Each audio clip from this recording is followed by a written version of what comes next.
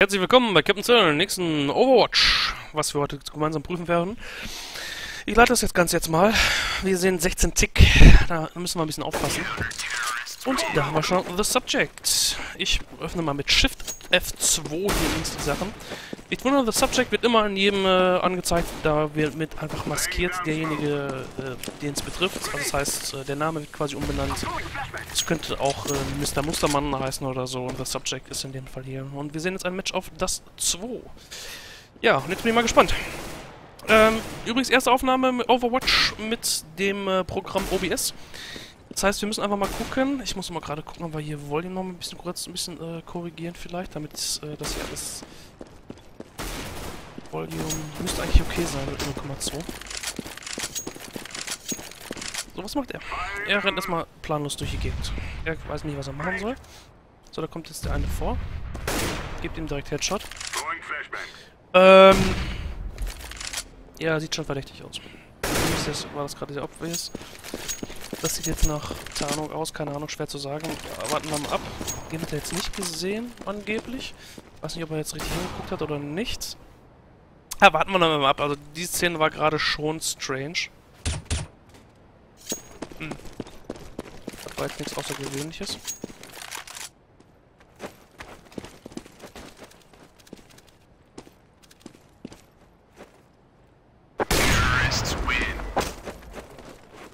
Ja. Er weiß schon ganz gut Bescheid. Das muss aber noch nichts heißen. Das Subject hat 403. Doch kann es jetzt, jetzt irgendwie gut abgehen oder so.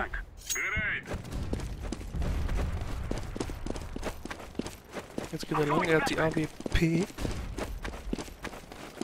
Die natürlich prädestiniert dafür ist, dass ähm, Wallhack natürlich super geil was hilft.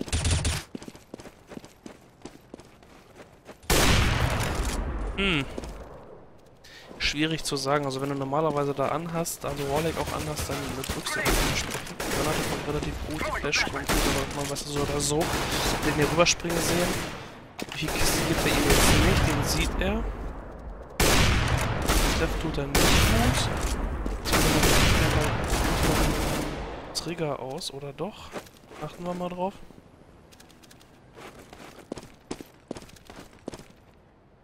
Flashbang.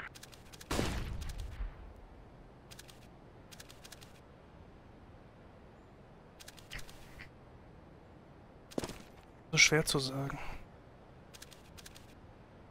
Also beim ersten Shot hätte ich fast drauf wetten können, dass er Wall hat. Also das ist jetzt auch schon wieder krass. Er guckt die ganze Zeit darüber und jetzt aimt er dahin ab. Gibt ihn. Die anderen machen das gut, die spielen Death. Das ist natürlich gut, wenn man vermutet, dass eventuell mal jemand am Cheaten ist oder nicht am Cheaten ist. Kann man das probieren. Indem man einfach äh, ein bisschen vorsichtig spielt. Granate kommt saugut.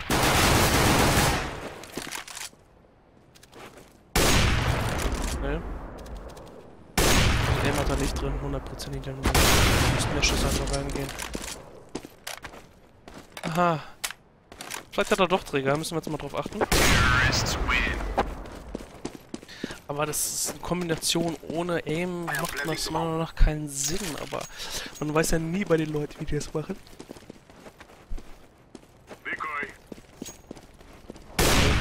Träger hat auch nicht drin, weil da Träger ziehen auch gerade auf Schlitz. Dann reagieren die sofort. Kann ich mich natürlich auch vertun. Ich sag mal so, ich bin natürlich nicht der erfahrenste mit Cheats an sich. Ja. Wenn man keine benutzt, sollte man eigentlich auch keinen Plan von dem ganzen haben. Standard-Kill.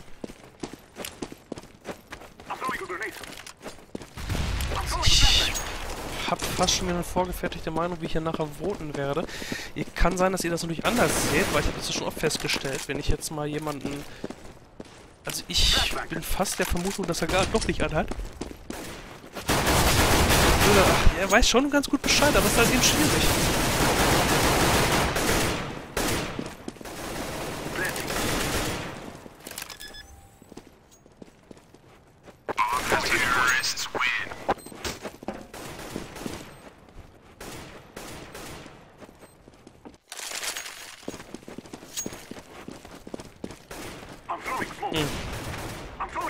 Ihr könnt mir auch mal sagen, generell die Einstellungen über OBS sind, über den neuen Bildschirm, quasi 16 zu 9 Resolution von vornherein. Ähm, das ist ja auch nicht interessant.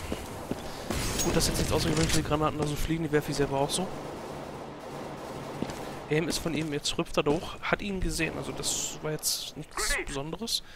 Also der Punkt ist, er kann halt vieles auch sehen. Wenn er dann auch noch mit Mates, ähm... Den hat er jetzt auch gesehen. Ja, also für mich, es gibt ein paar Sachen, wo man sagt, okay, scheiße, das ist ganz schön komisch, aber ähm, wer kennt das nicht, dass man dann gut drückt oder einen, den richtigen Riecher in dem Moment hat. Oder dass man halt eben Mates hat, die einem dann die Ansagen machen. Das vergessen wir einfach ganz oft immer häufig, dass man auch mit Fünfer-Teams spielt oder generell mit einem Mate im Teamspeak ist und da dementsprechend die Tipps oder die Ansagen kommen. Das wird dann als oft als Wallhack interpretiert, muss aber nicht so sein, weil äh, wenn man einfach einen aufmerksamen Mate hat, also er macht da nicht dran, dafür ist er Trigger auch nicht. Die beiden schließe ich jetzt einfach aus. Standardschuss durch die, durch die Tor. Da gibt er dem vielleicht auch noch einen mit. Weiß ich jetzt nicht, habe ich leider nicht gesehen bei demjenigen. Doch einen habt ihr mitgegeben.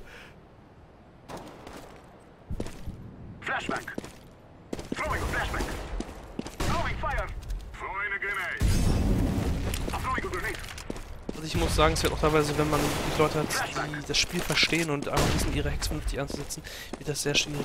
So, jetzt hat er den Hüpfen sehen. Also ganz eindeutig, er weiß, dass er da ist. Aimt jetzt mittig ab. Da kommt, was war das nicht, Smoke? Oder eine Jetzt drückt er ihn da quasi. Kriegt ihn aber nicht down. Ist okay. Wenn man mit AWP ganz gut umgehen kann, sind die Schüsse jetzt nichts irgendwie Außergewöhnliches. Er hat ihn auch nicht zum Beispiel jetzt eliminiert. Den unten sieht er zum Beispiel jetzt nicht vorkommen. Das spricht auch gegen einen Wallhack. Leute, die Wallhack haben, spielen auch den Wallhack noch ein bisschen anders. Ähm, die versuchen es unauffällig zu machen, aber die gucken schon so, dass die nicht überrascht werden. Also, ja, ich nutze gerne dieses Wortspiel überrascht. Also quasi, dass die einerseits überrascht werden und nicht äh, niedergerusht werden. Ähm, Flashbang.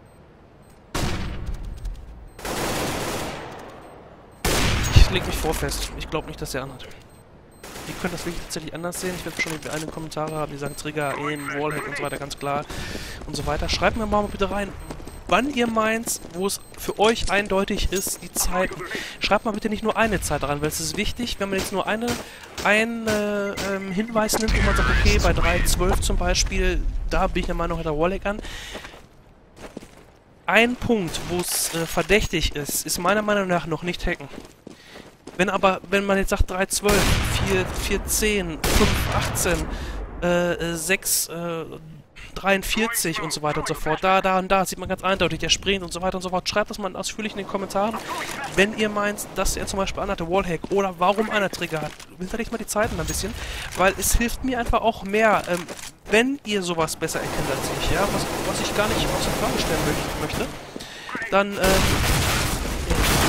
ganz normal, ja, ihm äh, schön Fuß rein, weil er nicht mitkriegt, wird er von hinten gerusht. Jemand, der Warlock hat, der guckt sich immer zumindest ab und zu mal unauffällig nochmal um, versucht zumindest sich unauffällig umzugucken. Das hatten wir teilweise schon in anderen Overwatches, habt ihr selber gesehen.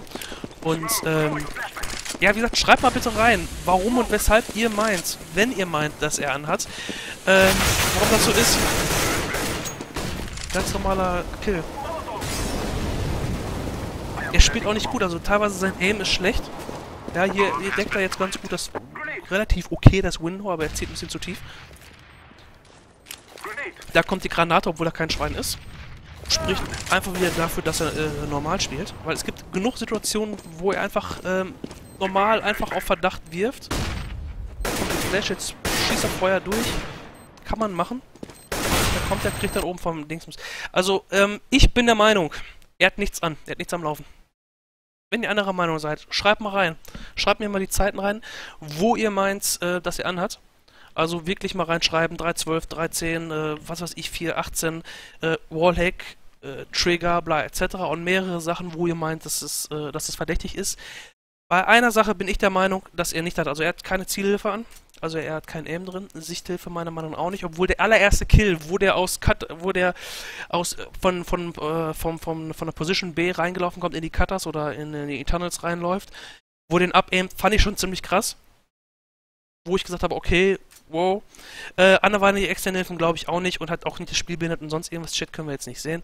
Ähm, ich bin der Meinung, der hatte nicht an. Und wie gesagt, wenn ihr anderer Meinung seid, belegt das mal bitte mit Zeiten und schreibt mir rein, auch warum und weshalb, worauf man achten muss, eurer Meinung nach, warum in dem Fall er vielleicht irgendwas anderes anhatte. Das wäre super. Und ähm, und ich hoffe, dass wir unsere Overwatch-Skills gemeinsam weiterhin dadurch verbessern können. Und ähm, wenn ich gerade durch euch als Community noch ein bisschen dazulernen kann, wie ihr sagt, okay, komm, ich erkläre erklär dir jetzt, Captain CL, warum das jetzt so ist, und ich sage mir, ey, das ist ein guter Hinweis und ich kann was dazulernen, wäre ich super dankbar dafür. Also haut ruhig in die Kommentare rein, wenn ihr anderer Meinung, oder, anderer Meinung seid. Und ansonsten freue ich mich natürlich auch, Leute, wenn ihr meine Meinung seid und das genauso seht. Und ähm, ja, bleibt mir treu. Bis zum nächsten Mal. Euer Captain Cell, macht's gut. Ach ja, Urteil gebe ich noch schnell ab, damit ihr schön da gemeinsam seid und ich nicht einfach mal nachher noch was anderes abgebe. Also, macht's gut. Bis zum nächsten Mal. Euer Captain Cell. Ciao. Música